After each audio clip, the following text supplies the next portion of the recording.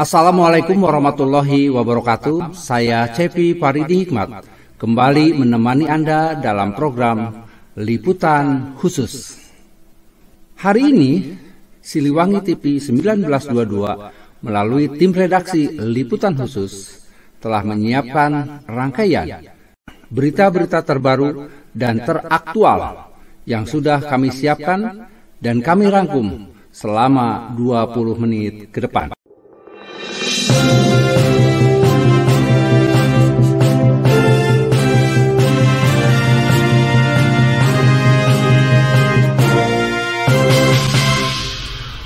Puncak arus balik lebaran diperkirakan terjadi Sabtu 7 Mei 2022 dan minggu besok.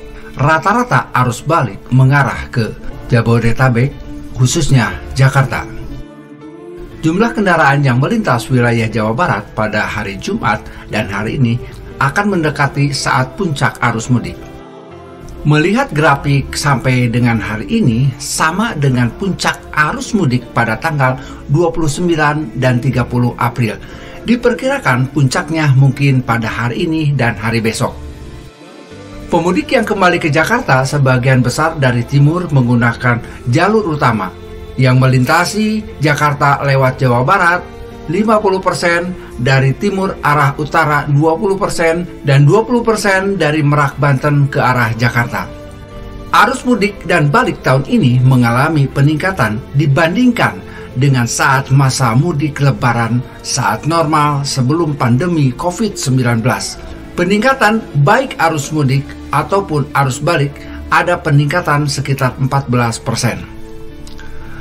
Lebaran tahun ini angka kecelakaan dalam mudik lebaran lebih rendah dibandingkan saat mudik di masa normal sebelum pandemi COVID-19 dikarenakan baru tahun ini ada kebijakan yang koofensif berupa satu arah sehingga mengakibatkan beban di jalan arteri berkurang karena dengan berkurangnya beban arteri akan mengurangi potensi kecelakaan. Selamat siang, Pak Sekda kami melaporkan di lingkaran Sari uh, Kapolsek Jadi Barang pada saat ini harus balik ke Jakarta uh, Alhamdulillah masih dalam keadaan lancar tertib aman dan kembali. Tapi pada waktu itu jam jam-jam sekitar jam uh, sebelasan. Ini jam sebelasan ya? Jam sebelasan tadi ada kesalahan sedikit yaitu dari uh, Bekasi. Ya luka ringan dan sudah diobati oleh TNI Alhamdulillah. Sekarang diistirahatkan.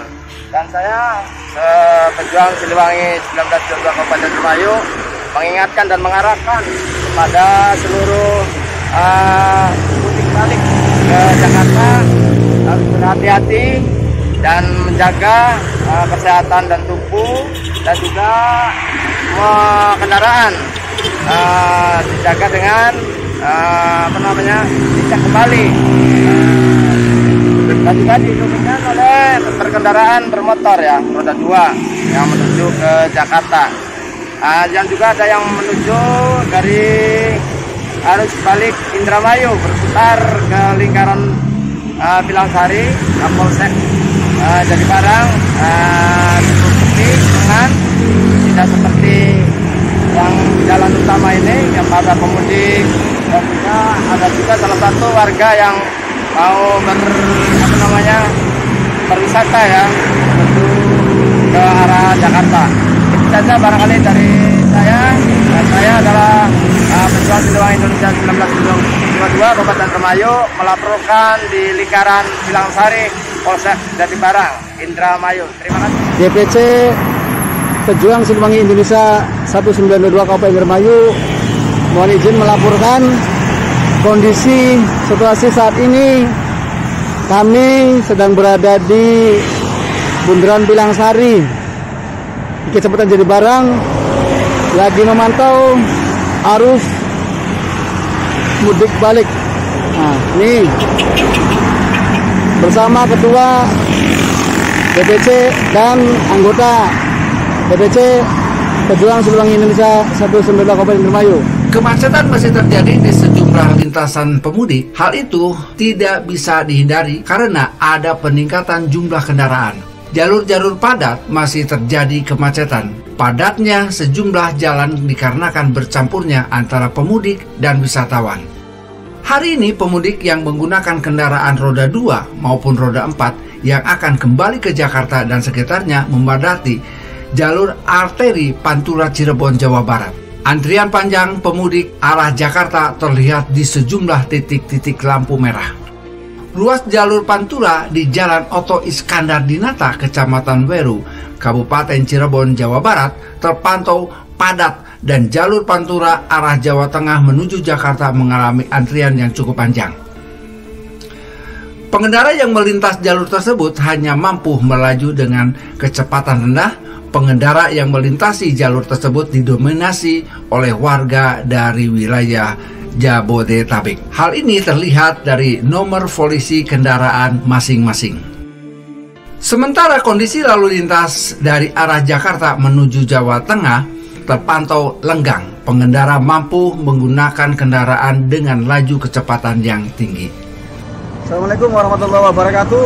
Kami Sekretaris DPC PSI 192 Kabupaten Indramayu sedang berada di Bundaran Pilangsari di Polsek Jadi Barang. Sedang memantau eh, kegiatan arus mudik balik dari arah Cirebon, Jawa Tengah, Jawa Timur menuju ke Jakarta. Saat ini kondisi masih dalam keadaan tenggang waktu, masih santai, belum ada nama-nama kemacetan. Kemungkinan nanti malam uh, puncaknya arus mudik balik dikarenakan hari Senin akan masuk kerja. Jadi hari ini masih dekat dalam keadaan santai, masih pantau ini masih arus mudiknya masih berjalan lancar, belum ada nampak kemacetan dan juga kebanyakan uh, untuk arus mudik balik menggunakan kendaraan roda dua atau sepeda motor. Iya, Pak. Nah, nah, bentar. Ini dari mana, Mas? Dari Batam, Dari Batam. Mau? Mau Bogor. Ah, mau Bogor ya, Mas ya. Ah, mas, ah, di perjalanan dari Batam sampai ke sini bagaimana, Mas, perjalanannya, Mas? Enak. Ada kendala tidak? Ah, udah berapa istirahat? Baru sekali ya? Ah, ini mampir di Bundaran Pilang Sari, Kecamatan Jadi Barang. Mau beli oleh-oleh ya? Iya, beli oleh-oleh. Oh, ini apa nih? Kerupuk. Oleh-oleh mangga Indramayu gimana? Nggak beli? Beli dong, harus tuh ya. Ya bu ya, harus beli itu. Itu as uh, Indramayu ada mangga Indramayunya. Nah, barangkali mas ada tip untuk teman-teman mas yang mudik apa mudik balik ini gimana mas? Untuk teman-teman caranya. safety riding, perlengkapan yang pasti, perlengkapan motor, terus perlengkapan pribadi, KTP, SIM, terus usahakan eh, motor harus layak pakai, standar lah.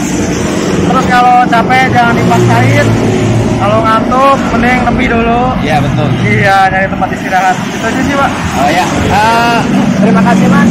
Nah, selamat sampai pulang Bogor kita lagi dengan keluarga. Kurang mas. Terima kasih mas. Pemerintah sudah bisa memprediksi puncak arus balik libur lebaran tahun 2022 akan lebih banyak dari tahun-tahun sebelumnya.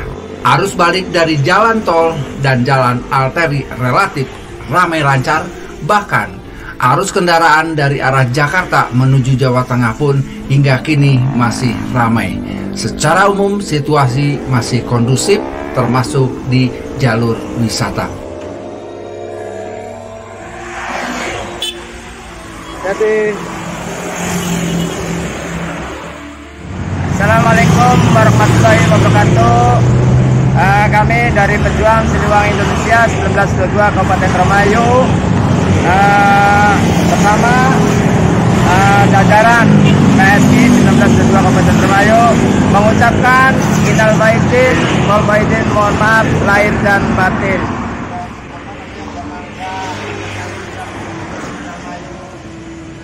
Siliwangi TV 1922 mengabarkan dari Indramayu. Pemirsa, informasi tadi sekaligus menutup kebersamaan kita dalam liputan khusus hari ini. Saya Cepi Faridi Hikmat mewakili tim redaksi dan seluruh kerabat kerja yang bertugas mengucapkan terima kasih atas kebersamaan Anda. Saksikan terus Siliwangi TV 1922 dan sampai jumpa. Siliwangi Jiwa Raga.